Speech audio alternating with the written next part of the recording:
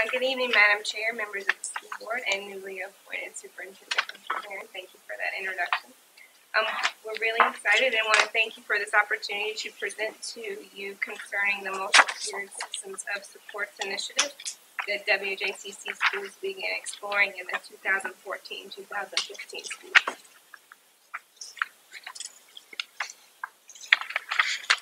A multi-tiered systems of support, or MTSS, is a data-based decision-making framework that supports the academic, behavioral, and social-emotional needs of our students. Essentially, what this means is that it allows us to take a look at what skill sets our students are coming to us with, whether it be academics or behavior, and develop supports and interventions to meet them where they are. It requires us as adults ask ourselves, are we setting our students up for success or failure? And if we are setting our stu- students up for failure, what are we going to do differently? It's about looking at the reasons why students are functioning the way they are, either with academics or behavior, and putting things into place in order to address that reason.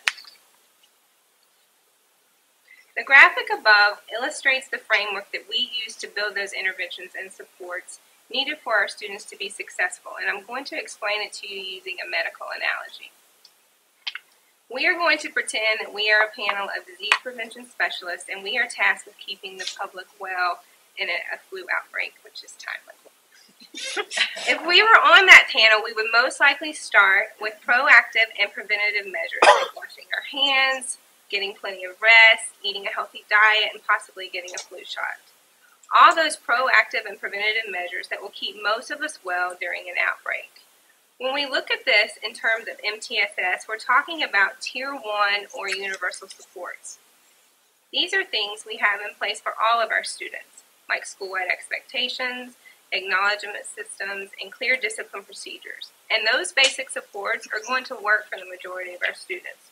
Just like those proactive and preventative measures are going to keep most of us well during a flu outbreak. But unfortunately, some of us are still going to get sick. And we're going to end up at the doctor because we may have a secondary condition, like asthma, that requires us to need medication or other supports in order to get better. At times, we have students whose needs move to a tier 2 level and require additional supports, like social skills groups, targeted small group instruction, or a peer mentor. For most of us, once we have that medicine, we will get better. Just like most of our students, when they receive that additional layer of support, will be successful. But for a very few, few of us, that will not be enough, and we have our needs that move to tier three. When you're very sick and medicine hasn't worked, you'll sometimes end up in the hospital where we can collect very specific data and apply a very specific intervention. This is the same for MTSS. At times, we have students whose needs require intensive and individualized supports. What's great about this process is that we're not starting from scratch, as many of our schools have some of these pieces already in place. Our goal is to provide a framework that allows each school to take a look at what they're doing well and solidify that, as well as fill in the gaps um, that they identify related to instructional and behavioral supports. While we're looking to build and solidify the supports we have in place across all three tiers of the triangle, our main focus as we begin implementation is on building a solid foundation on the behavioral side. We recognize the impact that behavior has on the learning environment, and behavior is the focus of our MTSS process at this time. As we're building that continuum of supports for behavior, the theme is consistency. Consistency involves a common vision, common language, and common practices. What's so powerful, I think, about this process is that that consistency is based in the framework that's provided. But everything else is unique based on the individual school's needs. It allows schools to have conversations around what do they expect from their students and staff, and then how does that unfold across the school day. We ask questions like, how should our students walk in the hallways? How should we be speaking to each other and handling conflict? And what does it mean to really show respect? Some of our leaders recently had the opportunity to, sh- to share some examples of what implementation looks like at their schools, and we're going to share some of that with you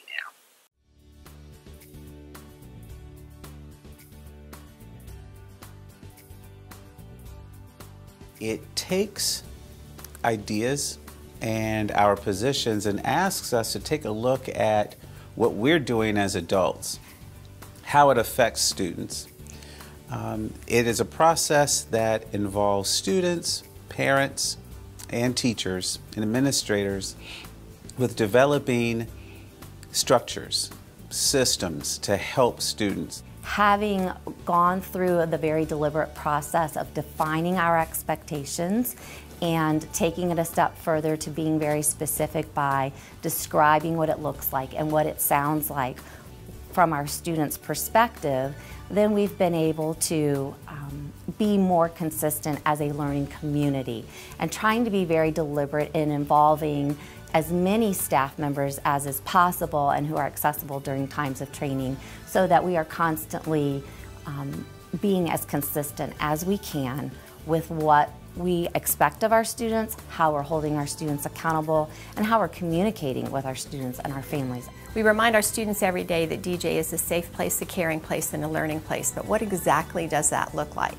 Um, so we took each of those, um, those themes and we described what the behaviors would look like in the classroom, in the cafeteria, at recess, at walk and talk. And we've created visuals that are displayed around the school with our, mus our uh, mascot, Monty the Mustang, um, demonstrating for the students what those types of behaviors would look um, would look like. It's allowed us to really come together as teams. So I've sat down myself, the counselor, the psychologist in some cases with the teachers and with their teams as well to kind of brainstorm, okay, Johnny's doing this and he might be doing it because it's attention seeking. So what are some things we can put in place to kind of um, avoid those behaviors? So we've been able to have those conversations as a team. Um, with MTSS, it's a data driven process. So we looked at a significant amount of data where behaviors were occurring, where academic struggles were occurring. And from the data, we made decisions based on data. So it's not an emotional thing. It's not a, a hey, a shotgun approach where we're just we're trying to hit something. We're really dialing down the data, saying here's where the behavior is occurring, what, what are we going to do about it? Here where the academic struggles are occurring, what are we going to do about it, the deficits. Um, the second important piece was to um, help the teachers uh, understand the purpose of, of MTSS. And we want to make sure that we're creating classroom environments for learning where students are safe um, and that minor disruptions are not taking place.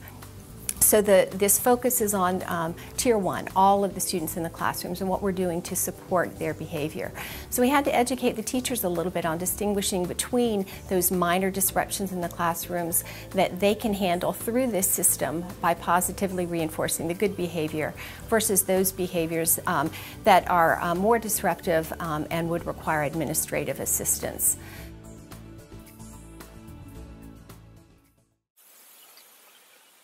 Research indicates that schools typically take five to seven years to reach full implementation. Looking at the graphic that's on the screen, you can note that our schools are at the first three phases, exploration, installation, and initial implementation. We currently have no schools who are in full implementation as we are just beginning the second year of the process. To structure the implementation process, we adopted a comprehensive framework based on guidance from the Virginia Department of Education. As demonstrated in the chart, we formed a WJCC division level leadership team to facilitate, monitor, evaluate, and coordinate the division wide implementation process. Through a series of full day trainings in the summer and half day professional development sessions, we established a core group of building-based MTSS coaches and administrators to facilitate and lead the process at the building level. These coaches and administrators form building-based MTSS teams comprised of teachers, school counselors, and other appropriate staff to engage in dialogue, examine school-based data, and propose interventions to respond to trends in discipline and school climate. The division leadership team reviewed school-based progress with several assessment tools and used this data to adjust trainings and to provide additional support.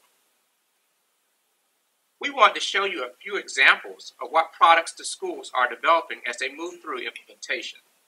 Here you see a poster that one of our elementary schools is using to promote positive relationships within the classroom.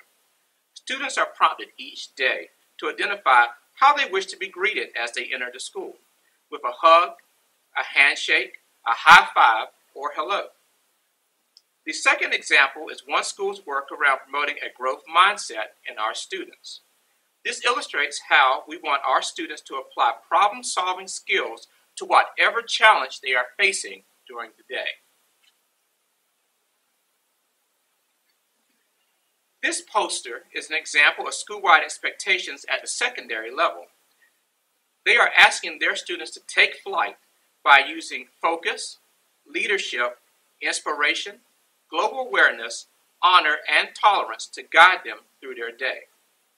Our goal for MTSS is to impact culture and climate in a way that allows our students to maximize their time in the classroom setting. We'll be looking at a number of factors in order to determine impact, including student and faculty surveys, minor infractions, and discipline referrals. One of the data points we are required to submit is our division's annual discipline, crime, and violence report. The chart you are seeing displays a three-year comparison of our data. The report represents out-of-school suspensions used as the intervention for violations of our student code of conduct. While several factors have contributed to changes in our discipline data, we believe that the various trainings on function of behavior, the implementation process for school-wide systems of support, and professional development concerning restorative versus punitive disciplinary practices has contributed to last year's data. Moving forward, discipline data will become more readily available through the implementation of a school-wide information system, which is called SWIS, that is being piloted this semester in a few of our schools. This tool will allow school-based teams to analyze data around minor and major infractions and use this information to guide implementation of interventions. Finally, we want to leave you with the voices of our leaders on the impact of MTSS thus far.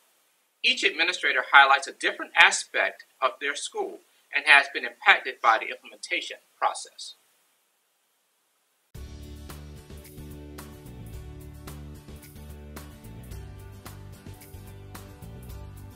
The culture, number one, by far, the, the, the positive impact it's had in student culture, where they're feeling part of the school. Um, one of the tremendous things that we, we did is that um, one of the complaints you hear sometimes about incentive programs, and this is not really an incentive program, but incentive programs, well, that kid got re uh, uh, rewarded for his good behavior, but there was five others that did the same thing. MTSS has a way of recognizing all of the students. And so all the students felt inclusive in, in the, the culture that we were building. One thing that's really been impactful in our school is the teacher conversations. Um, academics is always like a focal point. Behavior is now on that same level and caliber in terms of teachers collaborating with each other, having conversations about behavior, what can we do differently, and also being more proactive and preventive. Teachers are attending the MTSS meetings um, and they're coming with some concerns that they have about their students and they're leaving with a plan for how to address um, those disruptive behaviors in the classroom so they can focus on teaching and the students can focus on learning. And I think that's a huge piece that the teachers have a voice that we're there to support them. Why are we doing things this way? Is there another way? Um, and uh, it's causing some is causing some wonderful conversations, some wonderful, wonderfully uncomfortable conversations. So I think the students are thinking more about their behaviors, and then the teachers feel supported in that they're getting some strategies. They're not just filling out these forms. We're really sitting down and we're looking at them and trying to come up with ways to support them. So I think the teachers are, are on board and they are buying into the program. That we are using this process as a way to be more reflective and step back from the process more often throughout the school year and think about where are we being successful and where do we have opportunities to strengthen um, our program so that ultimately every student is the most effective learner he or she can be.